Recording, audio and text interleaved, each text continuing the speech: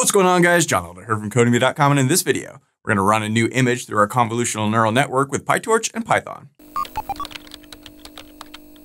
Alright guys, like I said, in this video, we're going to run a new image through our CNN. But before we get started, if you like this video and want to see more like it, be sure to smash the like button below, subscribe to the channel, give me a thumbs up for the YouTube algorithm, and check out Codemy.com where I have dozens of courses with thousands of videos that teach you to code. Use coupon code YouTube50 to get 50% off lifetime memberships, all my courses, videos, and books for one-time fee, which is insanely cheap.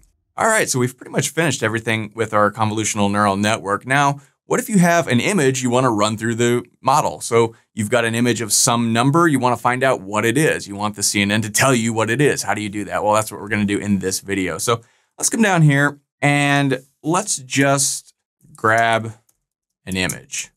So we could do that. We've got all this test data in here. We'll just use that since it's nice and handy. And we can just pick one. So I could say image 4143. Remember, there's what, 10,000 of these or something.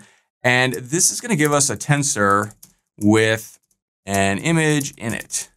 And at the end, it shows the label. So we can see exactly what it is. So if we run this, we can see here's our tensor with all kinds of stuff in it. But then at the end, you can see, oh, that's a nine. If we run something else, 41, 46, I don't know, any random number, you can see this one is a zero. But let's stick with the 41, 43 because I don't know, why not?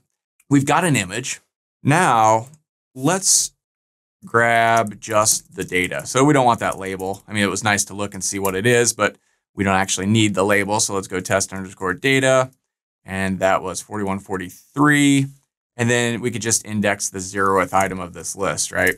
So if we run this, shows just the, the tensor, but without the little label at the end. So, okay, we've got that. Now we should probably reshape this guy. So let's go test underscore data. And again, this is 4143, and we index it on the zeroth one. And then we want to dot reshape this guy into a 28 by 28 image. That is not how you spell 28. There you go. And if we run this, all right, that looks good. Let's just show the image just to make sure that this is what we think it is. So let's show the image. And so let's go plt.image show. And then we can just come up here and grab all of this if we want. Paste it in here just for fun. Shift enter to run this and boom. That's definitely a nine. It's kind of a blocky nine. So I don't know, maybe we'll be able to predict it or discern what it is using our model. Let's see, let's find out. So let's pass the image through our model. So to do that, we call model.eval. Let's go with torch.nograd we want a new prediction. And let's set this equal to our model. And then we just bop in our, our image here. But instead of reshaping it here, we want to view it as a 1 by 1 by 28 by 28. This is basically just a batch size of 1. That's the first one. Uh, one color channel.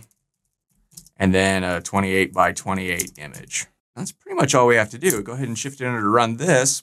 Let's check the new prediction. This is basically going to get probabilities. So let's go new underscore prediction, which is just this guy right here, of course. So shift enter on this, and we see the probabilities. Okay, but this doesn't really help us. We need the biggest one of these. So these are the probabilities that it's a 0, 1, 2, 3, 4, 5, 6, 7, 8, 9. But of course, we need the biggest one. That's going to tell us what the highest probability of the thing is. So we just call our new prediction dot argmax. And we see tensor 9, which is definitely what this is. So really, that is all there is to it. And we could do this with any image, with any uh, image in our test data or any image that you have. You could just pull it in here. Uh, we could say uh, 1978. I don't know what that is. Oh, let's go 1978. Oh, it looks like it's a four. So we could do this again there. And let's go 1978. And then let's look at it just to see how good of a four it looks. And that looks kind of janky. I mean, that could almost be a seven, right? I don't know. Is it going to work? Let's see. Come through here and 1978. Shift enter to run this guy, shift enter to run this guy, shift enter to run this guy, and tensor 4, sure enough, figured it out.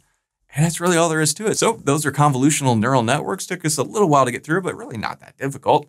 I think you'll agree. And uh, a lot of fun.